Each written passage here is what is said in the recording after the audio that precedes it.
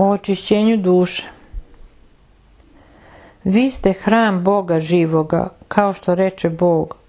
Uselit ću se u njih i živeću u njima, i bit ću im Bog i oni će biti moj narod. Zato se ne dohvatajte nečistoga i ja ću vas primiti i bit ću vam otac i vi ćete biti moji sinovi i kćeri, govori gospod svedržitelj.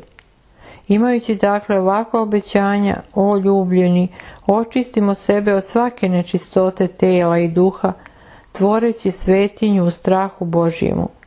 Poslanica druga Korinćanima 6, 16 do 18 i 7 i 1.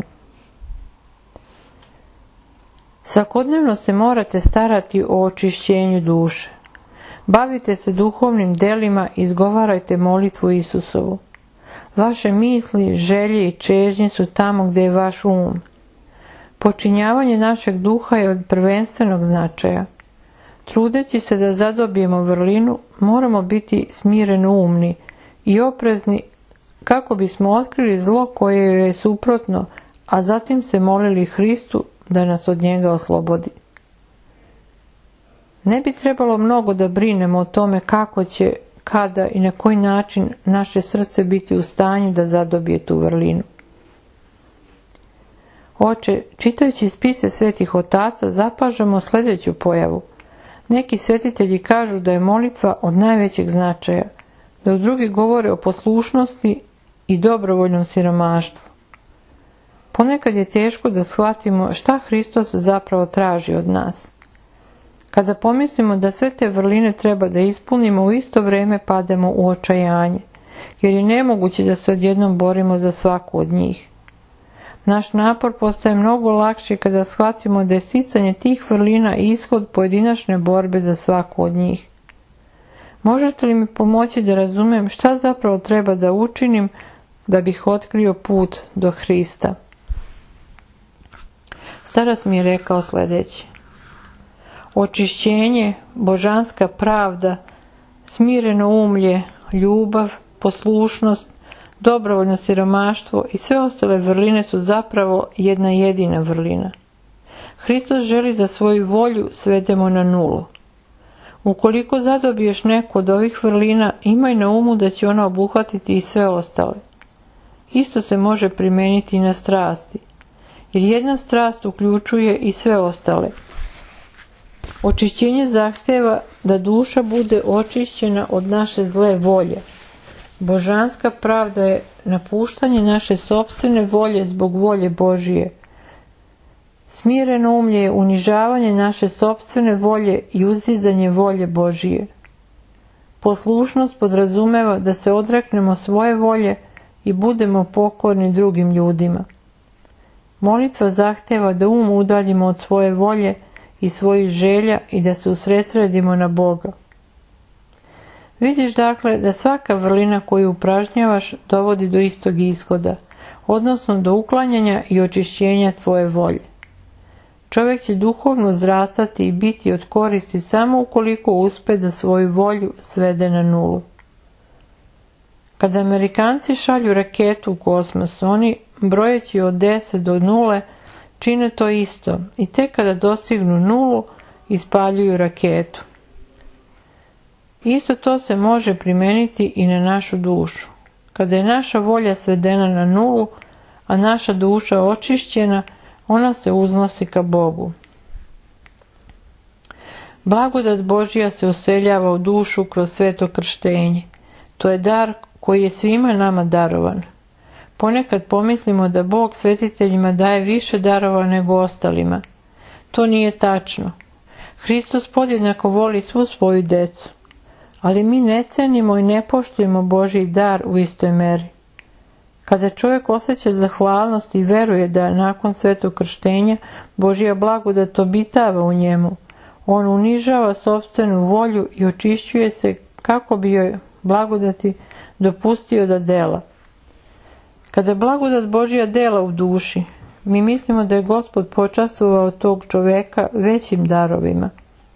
Istina je međutim da takav čovjek više voli Hrista i svojim smireno umljem dopušta Hristo da dela u njegovu korist. Mi nismo ništa inferiorniji od apostola. Apostoli jesu fizički bili bliski Hristu i on im je pomogao. Mi međutim kroz blagodat svetog krštenja od najranijeg djetinstva nosimo Hrista u svojoj duši. Dušu, međutim, moramo osloboditi od strasti i dopustiti božanskoj blagodati da obitava u nama. Ukoliko se više očistimo, utoliko ćemo više dopustiti božanskoj blagodati da dela. Kada je duša u potpunosti očišćena od sobstvene volje i potpuno smirena, može da doživi blagodat Hristovu ispunjenje svih njegovih obećanja. Kako mi je izraz očišćenje duše bio donekle nepoznat, često sam molio starca da ga opširno analizira. Savjeto mi je da pročitam neke odlomke iz Svetog pisma koji će mi omogućiti da pogledam unutar sebe i zapazim nakazan sobstvene duše, kako bih postepeno započeo sa njenim očišćenjem.